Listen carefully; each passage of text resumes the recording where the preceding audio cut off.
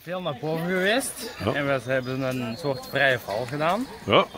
Dus wij zijn naar beneden gelaten van toch wel een redelijk hoge hoogte. Het project is eigenlijk een, een, een kantoorgebouw waar dat ik dan een, een, een winkel moest insteken en appartementen.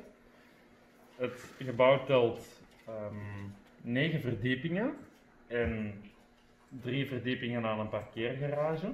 Het is een magazijn dat eh, scheepsluiken maakt, dus eh, daarom dat het ook aan het water ligt, aan een kanaal. Een heel druk bevaren kanaal. Doorheen de jaren ben ik te weten gekomen wat ik graag wil doen. Ook door, door het aanbod in het, in het eh, eerste middelbaar wist ik al, dat wil ik wel doen en dat wil ik niet doen. En nu zit ik in bouwhoudkunde en ik doe dat eh, heel graag. Waarschijnlijk toegepaste architectuur ook Mechelen.